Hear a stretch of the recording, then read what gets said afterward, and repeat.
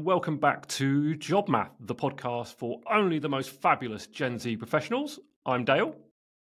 And I'm Lisa. This podcast is for you if you want to unleash your potential and get the career that you want. Don't forget to follow and subscribe on Spotify, on YouTube, on the TikToks, and on Instagram. And download, for the love of God, download the Career Badger app. Um, we thought subliminal advertising was going to work, but it feels like we've got to be a bit more explicit. Uh, we'd love you to download the app, come and chat with Lisa, but we'll uh, carry on. Today, Lisa, what are we going to talk about on our podcast? Today, we are lifting the career the lid on careers in design, branding, and all things creative. Wow, and so we must have an amazing guest lined up. Who are we talking to today?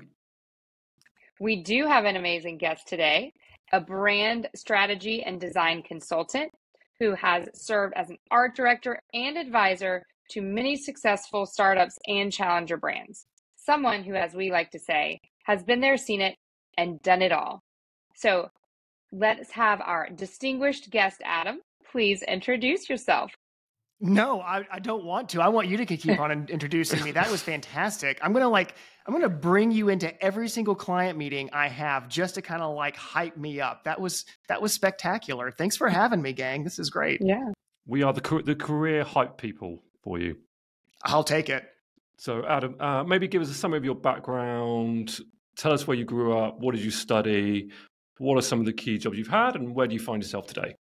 You know, it, well, so that's a good question uh, because I took a really non-linear path to where uh, a lot of people want to end up. So I, I own a, a, brand strategy and design consultancy. Um, it is a company of one. Uh, but prior to that, uh, you know, if you want to start back at the beginning, you know, when I went to, to university, it was at Centre College. It's a small private liberal arts college based in Danville, Kentucky, USA and uh, I majored in anthropology and theater.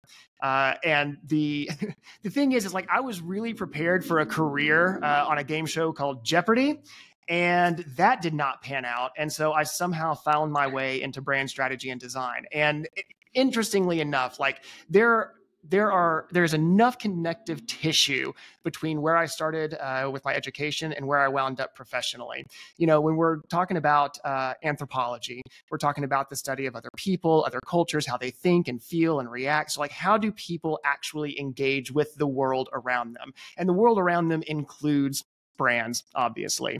And theater uh, this is this is the message that you're conveying. How do we present that information to these groups? So being able to, to kind of straddle that line between communicating to and understanding how it's being received it works it works really well. Um, unfortunately though because i didn't have like a really huge design background based out of my uh, experience experience at Centre i ended up working at the college for a while. It was like a live testing ground. So i worked in the communications office there for a, a hot minute and then transferred over and became the assistant director of communications for admissions, which is a mouthful because no one knew what the hell I actually did. Uh, which was you know I was I was the visual coordinator for all things admissions. So uh, prospective students they they saw what I put out in front of them to represent the college. Uh, from there, I got picked up by uh, the 16th oldest college in the country, the first one founded west of the Allegheny Mountains, uh, Transylvania University. Um, and I re- uh, led the uh, rebrand of that university over there before I realized I've spent 10 years in higher ed. And if I don't get the hell out of higher ed, I'm going to be stuck here forever jumped ship into the agency side of things, worked as an art director at a uh, brand studio called Shatterbox, and uh, found out after about two years of that and a prehistory uh, through higher ed that um, I don't work really well with people above me. Uh, I like to be in control. And that is the segue to Marrow, which is my brand strategy and design consultancy. So Marrow has been around for five years. Um, it's positioned as working uh, with startups and challenger brands. At least that's where I do most of my lead gen. Ironically, though, uh, I still work with Centre College. So right after I got done working at Transy, I jumped ship back home. And uh, now I still work with them on some of their prospective student and uh, admitted student materials. That was a long winded intro. No one's going to want to listen to this. It'll it'll it'll um, edit down into beautiful clips. I promise. Like I love the, that. Great, uh, thanks. These yeah, I was going to say they're going to follow it like a story. They're like, "Ooh, what's next?" You, you had us on the edge of our seats. Oh, perfect. Good.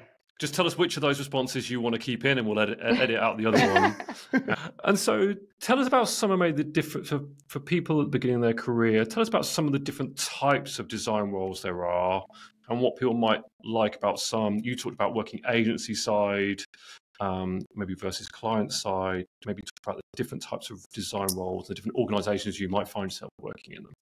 You know, I think it's a really good idea to think about where you want to end up before you begin.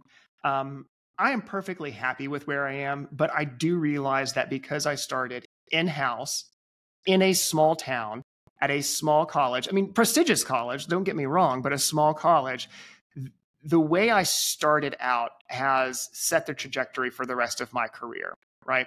Um, had I been prepared uh, and had I known where I was going to begin with, I probably would have started at a much larger uh, advertising agency, uh, if not a design studio, right? I would have.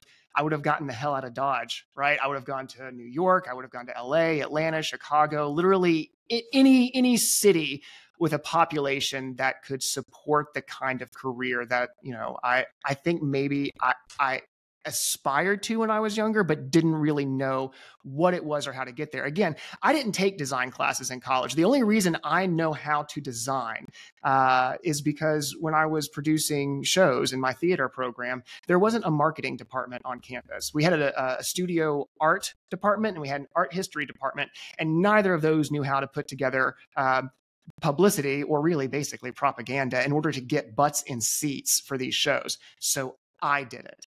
And that's how I figured out that I was actually a little bit better at design than I was directing. I was great at directing. Everyone said so. so I think that was at least, you know, a good nudge in the right direction, but I didn't have things figured out. And so I, I don't want to say that my career has just happened to me. Um, as I've gotten older, I've kind of taken hold of it. But um, I guess the first piece of advice is figure out where you want to go and then backtrack from there to the beginning because where you start is going to have a pretty significant effect on where you end. Oh, that's great, Adam. Um, I think you've kiboshed our next question, which is about advising people at the start of their career. Um, unless there's anything more you want to add to that? So, when we're looking at the types of roles that you might step into fresh out the gate, whether you've, you know, invested in a design education or, you know, you've gone to YouTube University, uh, the roles are going to vary based on what track you want to put yourself into, right? If you go to a design studio or an agency, you're going to find yourself in a lot of production based roles, and that's fine. Because there are so many creative people in those offices, it's going to niche you down into a specific role. Um, and that's perfectly fine, right? Like, especially at those lower level roles, that's where you kind of, you know, get a feel for uh, how the office structure works, what the relationships are like, both professionally and personally. Um, but if you go in house, right, this is the uh, the other side of that coin. You tend to find that the roles that you're offered are very generalist. This was my trajectory. So I had my fingers in a little bit of everything. I was doing video, I was doing web design, I was doing print, I was doing social media, all of that stuff. And and I'll be honest with you, I do think small businesses ask a little too much of their designers. They basically take everything they know about visual communication and shove it into one role and say, this would be great for someone just starting out.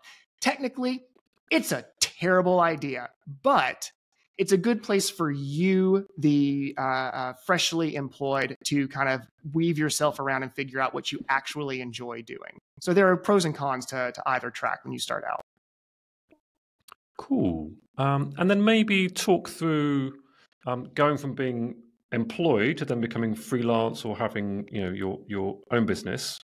Um, how was that for you, and and what wisdom have you gleaned from that about people that might want to follow in those footsteps? So I worked uh, as an art director at a brand studio. It was also a small studio. It was less than ten people in it, um, and it was it was towards the end of that where I started recognizing that in order for me to be fulfilled and happy, I didn't I did not want to sell my time to another person right? And this was kind of the impetus for why I wanted to start my own thing because we were charging by the hour. It was 125 US dollars uh, to to work on any project, and we would have to estimate how long it would take for us to complete a project. This is not uncommon in the design or, or creative spaces. It's pretty much the norm. Um, it doesn't mean that it's not awful. I I stand by the uh, uh, the truism that um, timesheets they are lies. The number of times I lied on timesheets far outweighed the number of times I ever told the truth, and that was for two reasons. One, I wanted to look productive.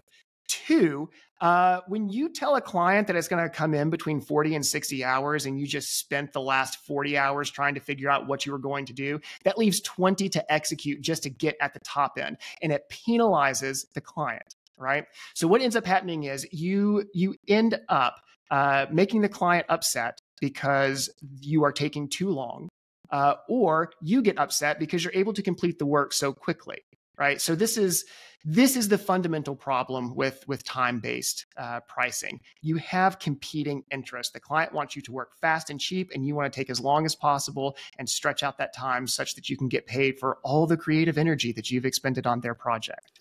So once you realize that, working for someone else just it's it's kind of gut wrenching. And so I figured, okay, well, I'm not going to convince this studio to to price my my time and creative output out the way I want it. So I, will just create my own studio, which is a great idea, except for the fact that it requires a whole other skill set that I was woefully unprepared uh, to to take on. Right, being an entrepreneur is very different than showing up and sitting down at a computer and knocking out some cool design work. The only way you get to do that is if you do it on Fiverr, which is another way to say you will starve. Um, it's not a way to make make your living. So it took me a little bit to get my bearings underneath me to figure out how to actually uh, find people who knew how to do taxes that I could trust. That's important. All the licenses required to get the business up and running, uh, to not run afoul of the law. That's difficult. And then the hardest part, I didn't have a steady stream of new business walking in the door. I had a few clients that I'd kind of, you know, nurtured over the previous years, but I was more or less starting from scratch. Here's the biggest piece of advice I can give you when you start a new business. Figure out who the hell your audience is really, really early. Because if you are everything to everyone, then you are pretty much nothing to anyone. And that's a, everyone knows this instinctually, but it's hard to think about when you are desperate for work and you just want to take anything. Um, so I niched down to start working on startups and challenger brands. Now this is this is a cheat. Uh, one of my um, one of my favorite people in the world, great author. His name is Blair Enns. He's uh, written the uh, Win Without Pitching Manifesto and Pricing Creativity. Um, he would tell me that I have absolutely adulterated his advice here, and he's he's kind of right. Um, when when we position, we're supposed to go way down so that a very narrow set of people know exactly what we do, and we can claim expertise in that vertical. Right? Um, startups very wide to start with, right? Because now we're not basing our positioning on uh, the type of business, but we're basing it instead on uh, the stage of the business. Also, startups, they don't have a lot of money, at least uh, a lot of those pre seed uh, uh, startups and even some seed funded startups. This is like that first uh, round of money that startups will get. Like, unless you're working with a company that's you know, received their Series A to the tune of a few million dollars, you're not going to get paid a, an awful lot. So I have challenger brands on the side as a way to uh, kind of pad the bank account. And challenger brands, this is a term coined by Adam Morgan. Um, and you know challenger brands they tend to fall into they they have three des- descriptors that they typically fall into uh, one they are uh, just just starting out and they're experiencing a high rate of growth. Um, they are willing to try unconventional uh, tactics in order to get where they're going, and they need a lot of impact for a lot less money than it would typically take. So all of those things kind of converge together, and it basically describes a startup. But you still have more established brands that want to take on that um, that kind of feel as well. So through those two niches, if they're even niches at all, and some of my previous relationships, I've been able to kind of sustain the business in a really productive way. I've not skipped a paycheck yet, and I've eaten every single one of my meals. And I think that's a success story.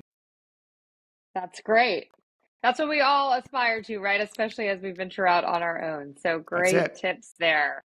Now, I'm very curious your take on this next topic, which is AI, something that lots of people are talking about, certainly has some impacts in design as well. So, have you seen AI already making an impact to your work or the industry, or where do you see that going? Oh, I've got lots to talk about on this. Um, I will. I will not bury the lead. Uh, I think AI is fine, and it might be great. Um, if we want to expand out further, you know, there are some ethical concerns about the the, the training uh, data that is fed into it, so that it can generate these images that are really kind of based on other people's work. But I've, I've got some news for everybody. That's that's how the entire course of human history has worked. We are always standing on the shoulders of other people who figured shit out before us, right? The thing that's different this time is that AI can do it much faster. And this is the kind of like when we're talking about pricing time, this is where it gets really, really really dirty because now AI can do it much faster. And if we're thinking about time as being being fungible, well, you know, I I'm going to want the work done just as fast as possible. It doesn't matter what it looks like. So it does kind of put a priority there. So I'll say all the negative stuff up first. That's that. Um, but I think it can be really, really beneficial.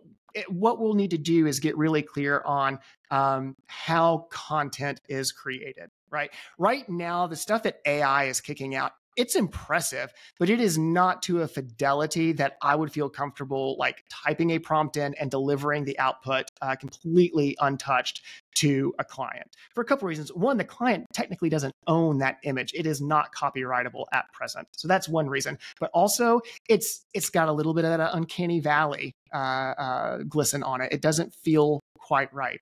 Great though for productivity, right? If I want to concept something uh, and, not go through the, the process of hiring a, uh, a 3D modeler, I can get it done to enough fidelity that the client can sign on and then give me the money to go hire the person that can actually do it to fidelity. So, in terms of, of that stuff, and then also research, right? I do a lot of brand strategy research. It's nice just to have a thought partner. I use uh, Claude.ai for that. I use uh, ChatGPT 4 for that. So, uh, most of my use in AI is actually in the strategy and writing work very rarely does the uh, uh, the large language model ever kick out something that I can just copy and paste and say, "Oh, yes, that's exactly the right answer." But the process of going through the conversation typically yields something fruitful in my own head that I can then develop uh, after that. It's hard when you work by yourself. If you can trick yourself in, into thinking that you're talking to a sentient being on the other side of the computer, that self delusion is great because now it feels like you've got a partner or a team. Um, transitioning off of that, uh, let me talk about the agency side of things or the or the industry. Um, so we, I, I, work in Lexington, Kentucky. Uh, it's the second largest city in Kentucky behind Louisville, but Louisville doesn't even really think it's a Kentucky city. Uh, they got a little bit of snobbery about them, which is not entirely unwarranted. It's a great city, uh, but I would argue that Lexington is probably better by virtue of you know having my feet planted here. Um, but we we got the American Advertising Federation. This is the largest advertising federation in America. It's made up of uh, several districts, I believe nine, which uh, each district contains a, a, series of local clubs spread throughout a few states. So we've got AAF Lexington, and we just held the American Advertising Awards here in Lexington, which I got to host uh, again for the second year. This time in sequence, it was great. You missed a terrific show um, and an open bar. Uh, but anyway, the the the uh, agency that won Best of Show, the agency is called Coomer, and it won for a campaign they uh, called Kentucky After Dark. And what they did, here are the bare bones. They went to different cities around Kentucky with the Kentucky Tourism Board, I believe. And they looked up the local lore and legends and created like iconic horror posters and scenes featuring like the monsters and ghouls, villains and ghosts that, you know, those cities had in their in their folkloric traditions. And then they used AI to create those visual images. Then they had, uh, as I, I, believe, I'm not 100% on this, they did do some retouching. And um, I understand, so I was not there for the judging, but what I understand the judges discussed, because it was a bit contentious. Do we want to give uh, a piece of work that relied so heavily on AI uh, the best of show? They won best of show, the biggest award possible. They cleaned up. And the conversation, as I understand it, was, uh, you know, AI is coming we've seen a lot of bad AI, but in order to keep this amount of consistency from image to image to image, because they had at, least a couple dozen, I want to say, different images for this campaign, to keep it all consistent across video and and uh, uh, imagery and copy, it was a pretty adept use at AI or use of AI at this early stage. Um, maybe we'll see more of that. But the thing I think to keep in mind is that that was human augmented AI work and this is Greg Shove uh, from Section. Um, he talks about this, and I'm going to butcher his language, but I'll get the concepts pretty much right.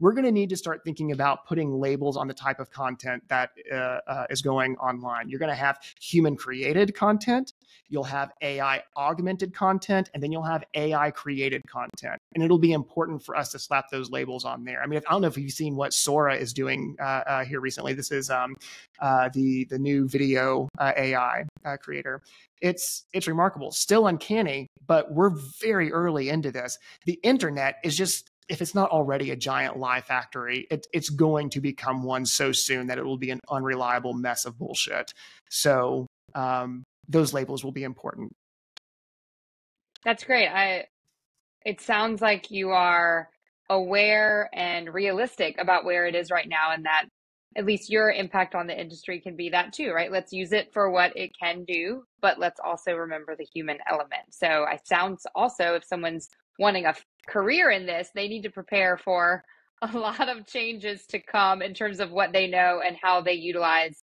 different technologies for sure. Absolutely. Um, so I, I, work right next door to uh, an agency here in Lexington called Cornett. Um, they've won Ad Age's Best Small Agency of the Year a couple years now. Um, I mean, really a fantastically creative crew. They uh, they did professional development with some of their uh, designers and art directors to get them trained up on AI so they would know how to go through prompting correctly to create uh, uh, different um, uh, uh, prototypes for their clients. And they're currently in the process of writing their AI policy, which is exactly what they should be doing, you know, getting ahead of it before the snowball gets too big to control. That's great. It's bringing in a lot of different elements, I would say, from your intro of your winding path to starting your career to where you are today, I think it shows that we just learn new things as they come. And it sounds like you you've done that and you see the industry doing that too. 100%. 100%. Change or die. Right.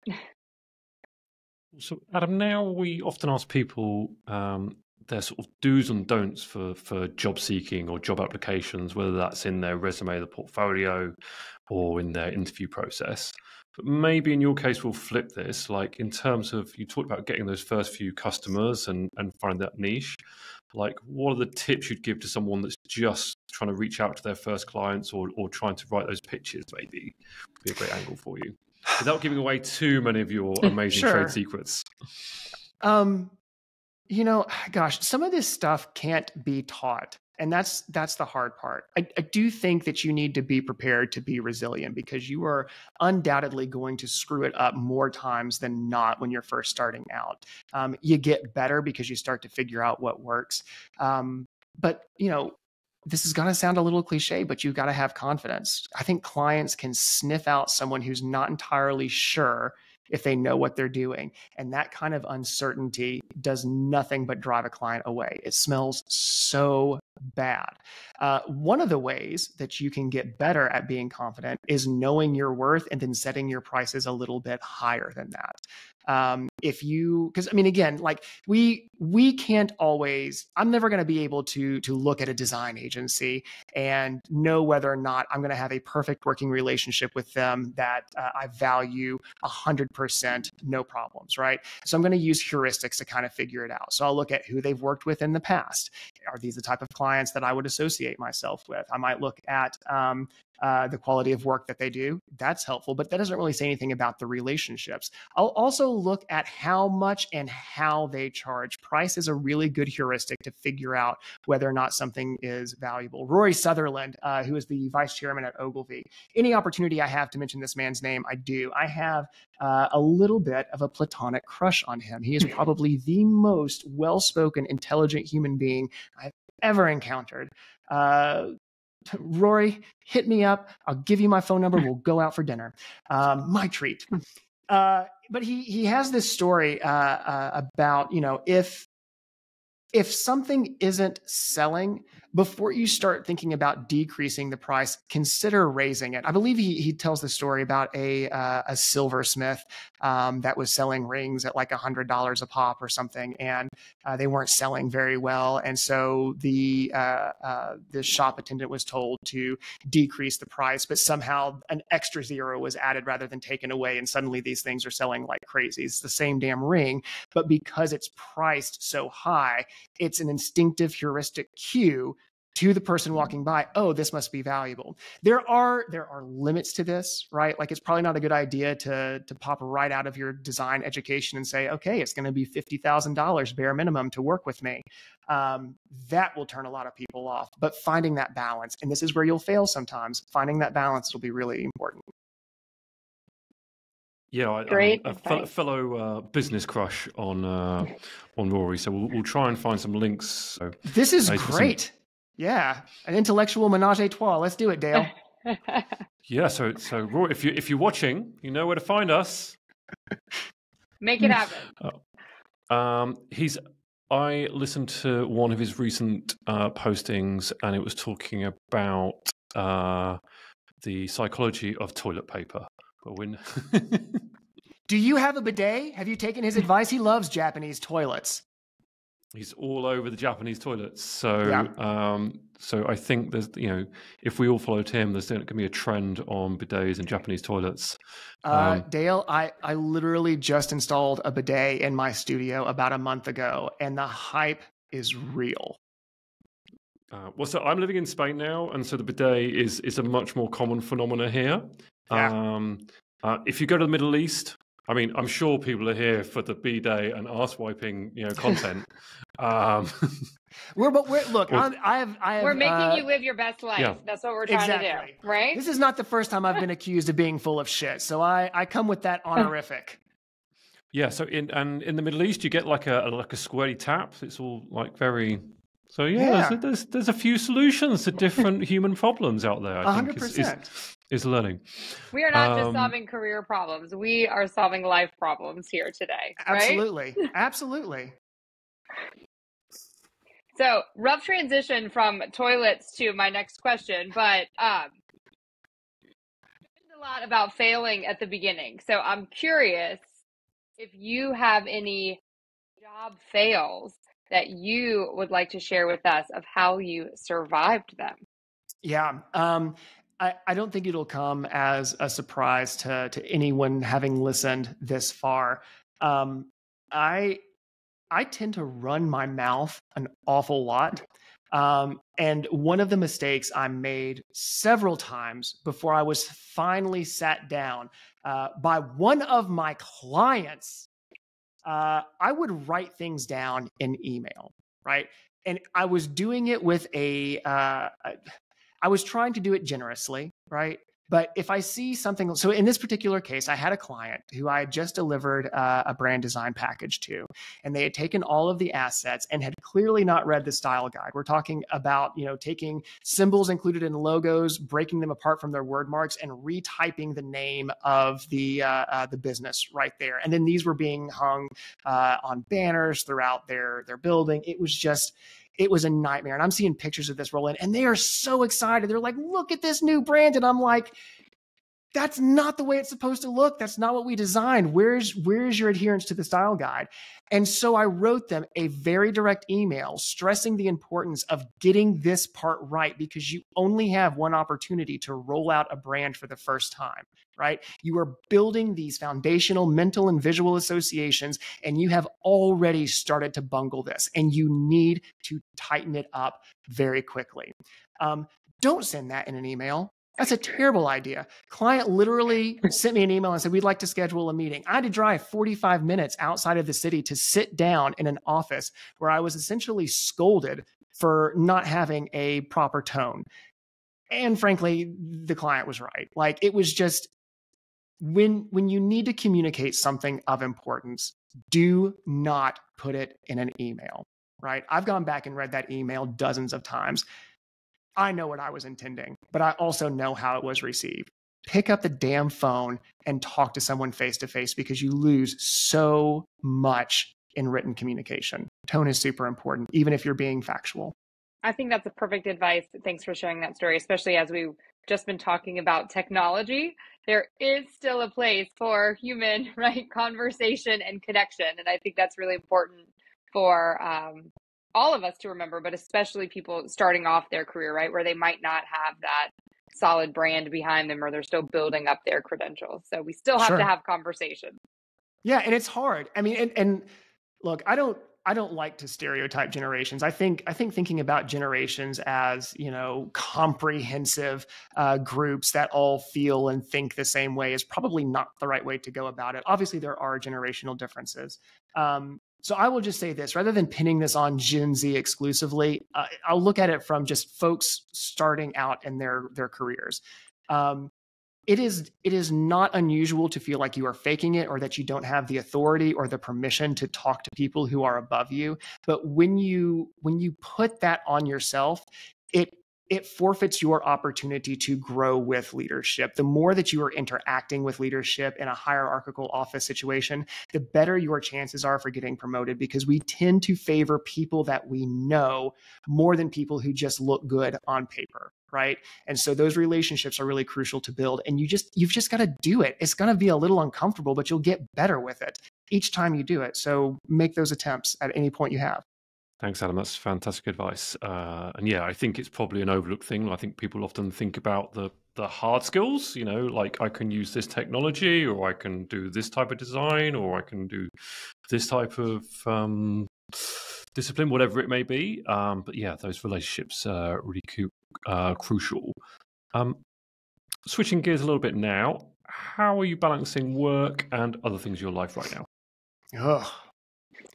I've recently taken to telling people um, that I have found a third end of the candle to burn. And I think it's like right in the middle. So now I've really uh, kind of messed myself up here. So I look, one of the reasons that I started my career uh, in Danville um, and not in a major city was because that's that's where my wife was and we knew that we were going to have a family together and that was where my priority was at that moment and it still is right but like i can feel when you when you become an entrepreneur that starts to shift a little bit right? Like we only have so much time that we can invest into the things that we want to do.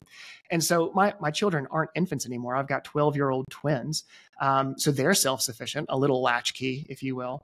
Uh, but now I've got this business to take care of and make sure that you know it doesn't run into insolvency. That's a that would be a major problem. But I've I've recently because because there's no other there's no other way to to to not do it like i've gotten to a point in my life where i've become really focused on uh, time and the amount of it that i have left and so uh, I, I, have an art, a lifelong uh, work of art that I've been uh, building for the last two years now.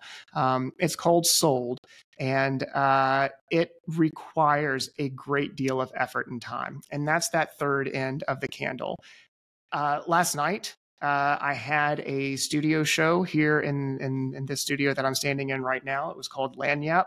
About 50 people uh, came through to see some of the old works, some of the new works, and experience a time machine. I built a time machine. Um, it was a great show. I missed my daughter's orchestra concert and uh, of course this is something that she's been working on with with her classmates for the last few months. Um, and she was even at the last minute given a speech to read introducing uh, the pieces that they would be talking about and i wasn't there. And frankly that sucks. Really really bad. Uh, i don't love that.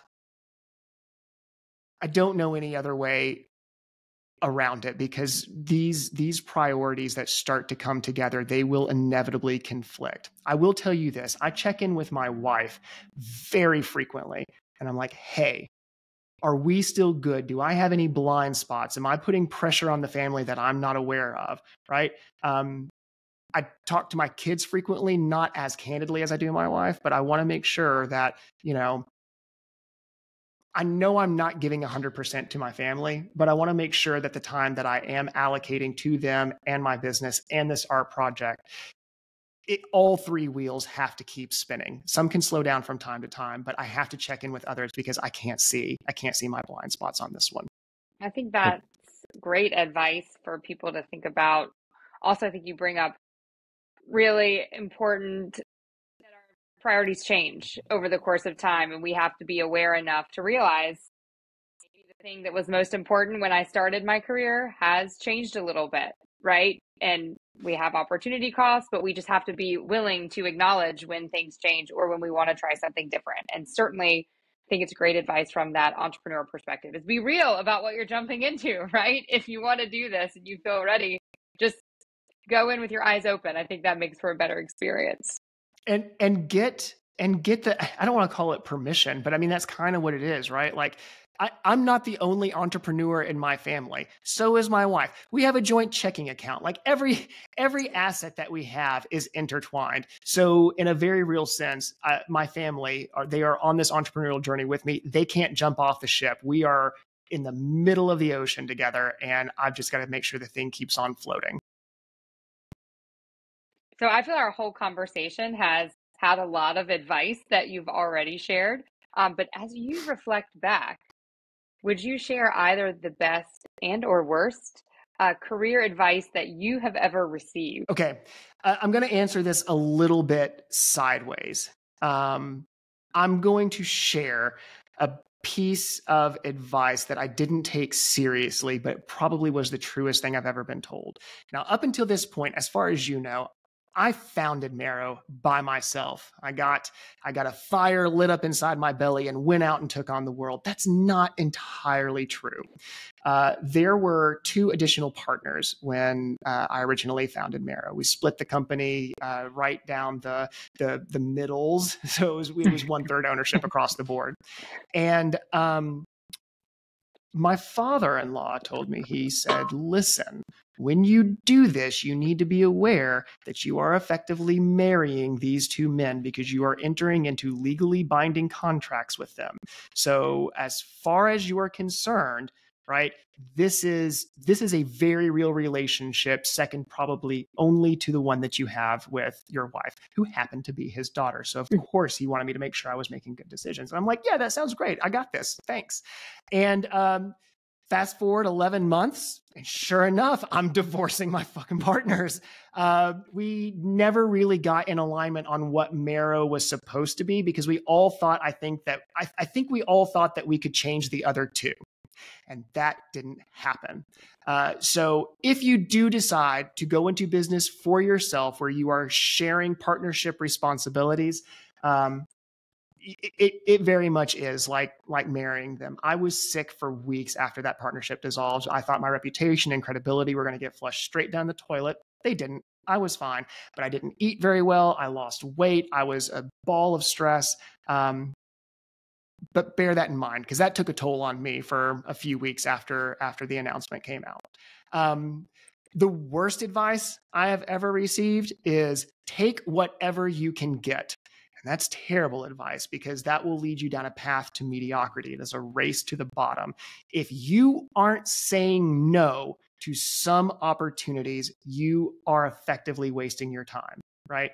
It's good to try things out. It's good to put yourself out there. You want to try and get lucky. You want opportunities. But at some point, you have got to shut some of these first doors such that you can begin going through one set of hallways and then hopefully down another set because you're never going to get deeper in your career if you're constantly jumping from thing to thing to thing, be it, you know, a trade or a client or what have you. That's great. Awesome. Thank you for sharing that.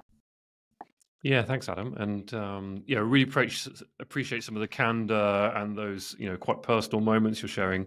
Um, I think is adding um, yeah a lot of color and a lot of impact on the advice that that people will get from it. Um, you've mentioned some books. You've mentioned some influencers on various mediums, uh, including yourself.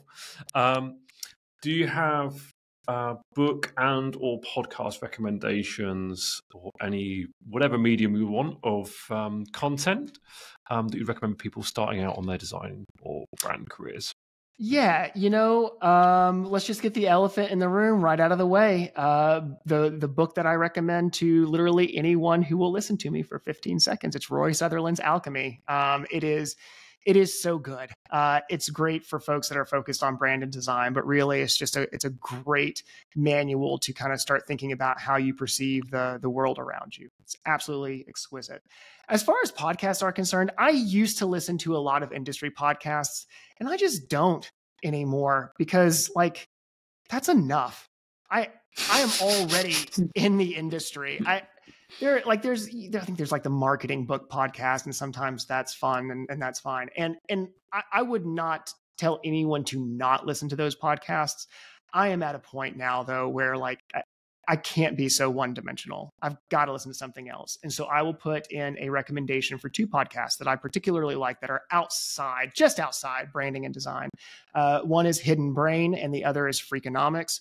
Both of these podcasts do a really good job of exploring topics that take you just outside of uh, your your you know perceived world and give you a new perspective on you know sometimes small things, sometimes large things. But you've got to add some texture to the content that you're putting into your brain. The the interconnectedness of ideas is super important when we're talking about branding and design. You don't want to stall out. And it's really easy to do that because most of the content that I see online these days is here are the trends to look forward to in 2024. What's coming up in 2025? And it's just like, okay, like if I want to know that, I probably want to know it to avoid it but it's easy to get stuck on that as a way to become relevant. The better idea is to find points of differentiation, and you're only ever going to be able to do that by, I think, diversifying the things that you feed to your brain. I'm so glad it's someone other than me recommending those podcasts. Those are two I recommend to everyone. So now I'm validated in my love of them. A hundred percent. Yeah, no, they're great. Yeah, me too. On the freak, I, I think I must have read Freakonomics maybe fifteen, uh, possibly even longer ago. Uh, but yeah, the sort of like moment, the sort of mind blown moment. Um, a great way to think differently about things, for sure. Right? Like, I, oh, I've thought of this topic before, but never that way. Yeah. exactly, think, and that's I it. Think that's that and that's what branding is, right? Like you're, whenever we're talking about branding, we are again trying to figure out points of differentiation. If if you are leaning too far into being relevant to an audience, you will inevitably become a commodity. A brand is about figuring out what is so distinctive and different about you that it will stick in the minds of people when they encounter whatever it is that you're trying to sell them, be it a product or an idea or a service. Yeah, so if you like uh, Freakonomics, there's also people I mostly admire I think is by the same host. So is it? Um, oh, I think you're right. Is it Stephen Dubner? For some reason, I've got that as Stephen Melanie Gladwell. Steven Levitt. The, there we go. It's one of the Steves, isn't it? Because they're both both the guys who who wrote the book are both called Steve, confusingly. Yes. Um. So great. Um. Lisa. As we wrap up, Adam, um, anything you want to pitch us on, anything you want to share about your business, use our platform to also help you out. Yeah, absolutely. I, I mentioned earlier, um, I've got this uh, lifelong time based work of art called Souled, And, and now you've heard me say it twice already. Um, it's not spelled the way you likely think it's intended to be spelled. It's S O U L E D. Um, and in short, basically what I'm doing is I'm creating 12 identical prints at a time, uh, and they double in value as they sell all right? But they're only available for 12 days and any work from from those editions that don't sell uh, they're destroyed in the performance of awake which is exactly what we did in the uh, in the studio here last night. We actually had to go outside because there's fire involved and i didn't want to burn the entire building down. Um, but it's it's a it's a big project and you can find that at uh, the web-based installation. It's uh, www dot right Souled, s-o-u-l-e-d dot art. Um, Marrow is doing really, really well. And I owe a lot of Souled success to many of the things I learned while running this business. I don't think that project could exist without everything I figured out here. Um, but that is, that is, that's what keeps me up at night now. I've gotten really good at managing clients and I can run those on autopilot. Art is very different. It's an entire world completely untethered from objective reality, uh, which is a fun space to play in. Thanks, Great. Adam. We'll make sure to link that for everybody, right? Check it yeah, out we after. Will get, we will get the links of all, all the things will be in the comments. Um, Adam, so much thanks. Um, I knew you were going to be a fantastic guest um, when when we first uh, spoke, and I because um, say I think Lisa and I are both going through our contact list and thinking who's going to make a fantastic guest. And I say I think you've more than delivered. Who knew we were going to get bidet stories um, when talking about brand and and design consulting? Um, and yeah, real pleasure having you on. All right, very good. Well, I'll let you all get to it. Thank you all so much again, and uh, look forward to talking again soon. Pleasure meeting Yeah. you, Lisa. Yeah, you too. All right, bye, Cheers, y'all. Okay, Lisa, what are your reflections on Adam's sharings? Sharings? I'm not sure that's word. Yeah. Uh, insights. He had so many great insights, I think, on figuring out what type of career you think you want, trying to move towards that. And I think just being real. He was very real about what worked, what didn't, having to, to pivot, the joys and struggles of being an entrepreneur. I think he really covered all the things, thinking about industries, thinking about how I can take my strengths in a different direction. Um, so a lot of takeaways there for me. How about you? I mean, Adam's amazing storyteller, and um, I th- uh, we mentioned it uh, a little bit earlier, but the candor he, he gave I thought was really great. I think it's easy to make generalizations about you might want to do this, but I think that this happened to me, and this was personal with my family or my friends, that sort of stuff. Stories he's telling. Um, and you know, besides anything, uh, if you look at Adam's work, got amazing um, life design and, and stories and that sort of stuff. So, yeah, uh, an amazing person to look up to and to aspire to be like. Yeah. All right. Shall shall we t- shall we uh, do another readout? Um, so, Sure. uh, guys, we've uh, if you're still listening, everyone, um, we said at the top of this podcast that subliminal messaging apparently does not work as well as we thought it might. Um, so, Lisa, read us out. Yeah. So now you've made it to the end of the podcast, which we hope means you found it interesting, entertaining, and possibly even valuable. We know you found this one that way. So if so, why not subscribe on all the things Spotify, YouTube, follow us on Instagram and TikTok.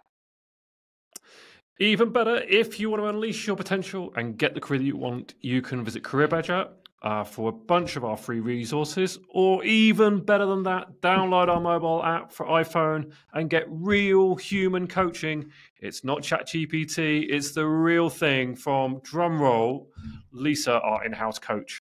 Uh, you can do live human uh, chat uh, coaching with Lisa, uh, whether you want help with your resume, got an interview to prepare for, trying to negotiate promotion at work, or just trying to figure out what the hell to do in my life, Lisa's going to have the answers for you. That's it from us. See you next time. Uh,